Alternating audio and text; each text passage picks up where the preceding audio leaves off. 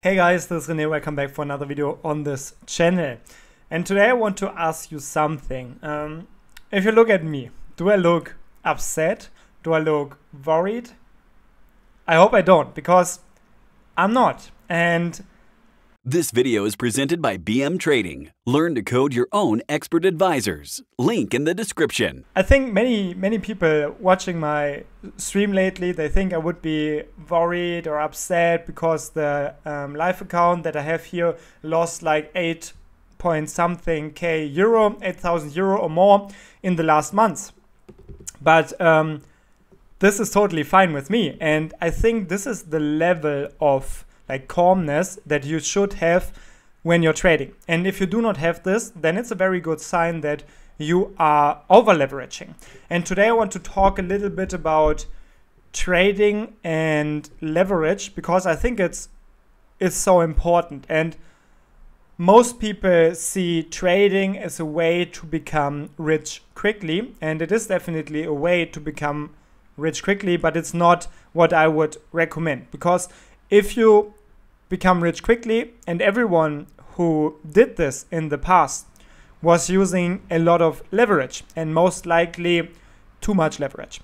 And this is the only thing that separates trading pretty much from investing. It is the leverage. It's not the strategies, whatever, because the strategies, you can trade the strategies with different products. But the main difference when we compare trading to like normal investing is um, the leverage. Because if we are talking about classical investment, or investing, we usually talk about unleveraged products, and with trading, we talk about leveraged products. What does this mean? It means that you can trade a lot or you can move a lot more capital with in your trading account than you could normally if you would trade unleveraged. And leverage can impact both sides. It impacts your profits, of course, and also your losses. And this is why it is possible to make a lot of profits with trading. It's not because the strategies are something groundbreaking new technology. It's just leverage. But leverage goes both ways. Like you can win a lot, you can lose a lot.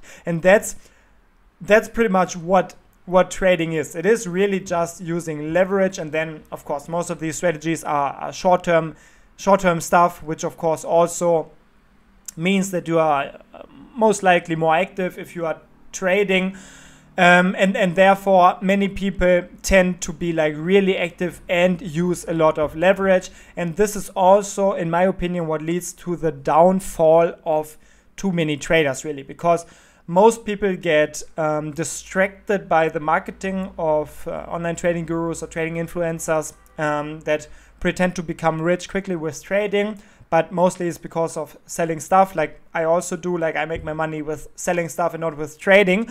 And therefore many people are yeah distracted or misled by this image of becoming rich with with trading quickly and they do not like to see the risk that comes with it but if you consider the risk then it is almost impossible to become rich quickly with trading because or at, at best it's more of a 50-50 thing if you really over leverage so this is why i would never recommend anyone to over leverage. And this is also coming back to the beginning of this video, why I am so absolutely chill at this point. I lost like, I think from the highest point in this account, I lost at this, uh, yeah, at this moment, I think I lost more than 10K if we have a look at this, um, yeah, here the maximum balance was around 28,000 and I, I'm now at 17,000. So you can see I lost more than 10K. And this is, of course, verified on MQL5. You can look this up.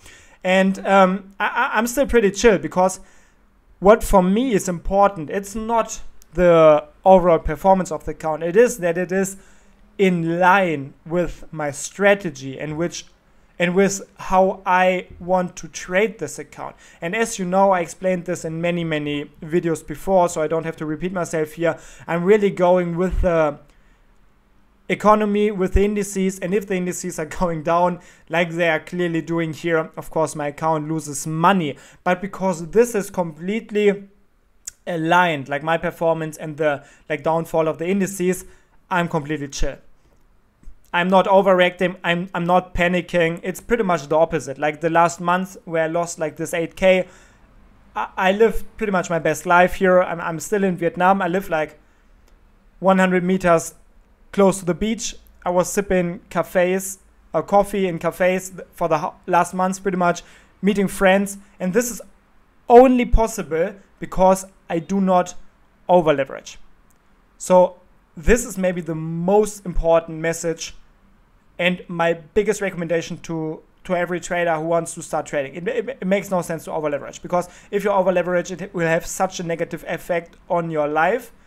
And I did this before. It's it's just it's messing with your mentals. Like if you are over leveraging, you cannot really enjoy the rest of your life because you constantly think about the trading profits or losses.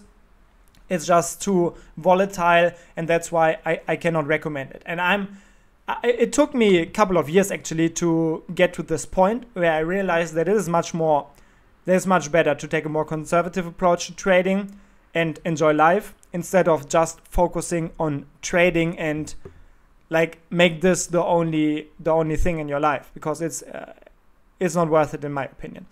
And um, I got this like I'm so chill now because right now I'm trading for like in live accounts for almost 10 years. No, no, not 10 years, maybe like 8 years. At 8 years, I'm trading live accounts. For the last like 6 or 7 years, I was trading only very, very small accounts. And this is also what I recommend just to get the experience. And now I trade a little bit bigger accounts like this one here, but it's also not so big that it will have a strong negative impact on my mental if it's not going good. And this is what I recommend to anyone.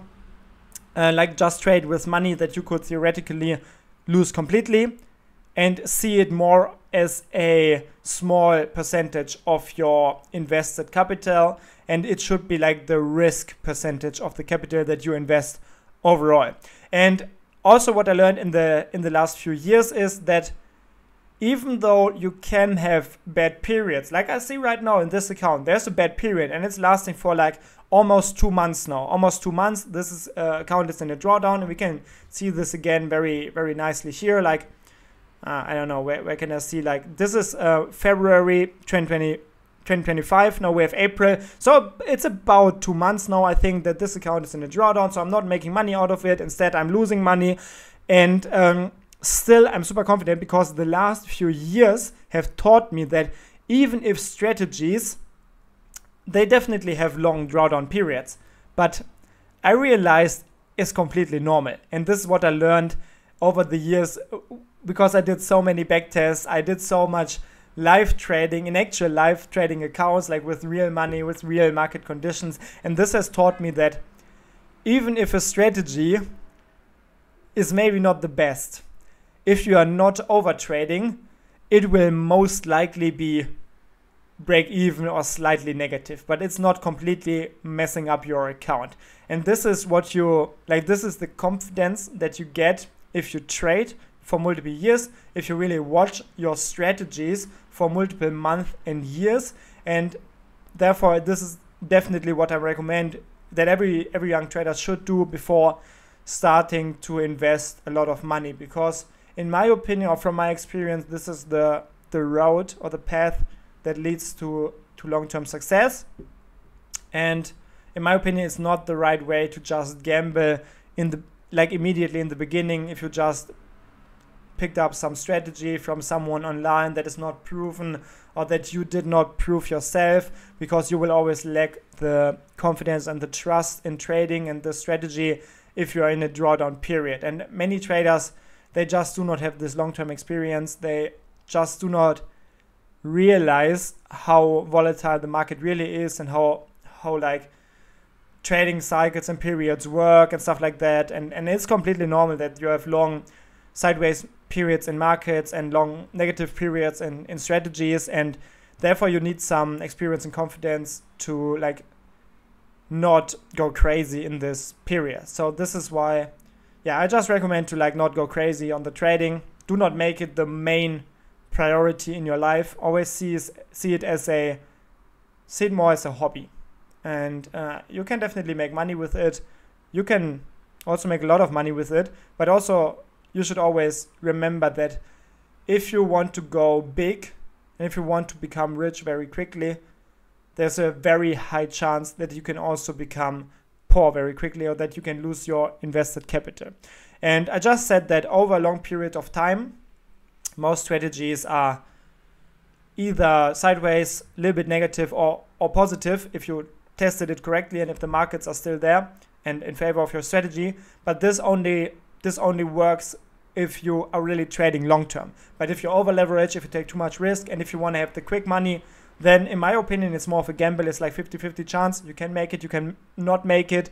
It's a little bit more luck if you over leverage and if you only have like enough money to uh, survive a drawdown of two or three weeks because it is just not possible for any strategy, and that's my opinion, to predict the outcome in the next one, two, three, four weeks, or even the next one or two months.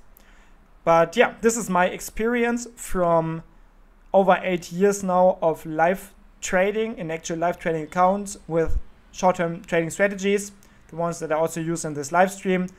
In this way, I try to to show like this stream live on on YouTube, so you maybe get a good impression of how trading can actually look like if you do not gamble. And um, don't get me wrong, like what I show here is not a super conservative approach. Like there's still a, a big chance of me losing money or even this whole account. This is what also many people stated already in the comments uh, in the chat of this live stream if the market goes down even further, like if we see really like 40, 50% drawdowns in the major indices, uh, I might crash this account. So and this is not cannot considered be like completely low low risk, but but still it's like a very personal thing. Like for me, as I said before, like this is not money that I need for for my daily life. I, I could afford, or I, it, it would be okay for me to lose this account it would not be nice, nice, uh, but it would not like mess up my my life. And this is, I think the the level of uh, calmness or the level of financial security that you should always keep when trading leverage products and, and risky short-term trading strategies. Um, but yeah, that's just a little insight. I, I, just want to have like a little chit chat about this and and share some of my thoughts because I realized that um, in the in the stream there are a lot of negative comments. People are freaking out because of the drawdown, and I have the feeling that it's more like the the viewers are freaking out because I'm I'm pretty calm at this point. This is not a drawdown that's that's leaving me sleepless in the night. Okay, bye.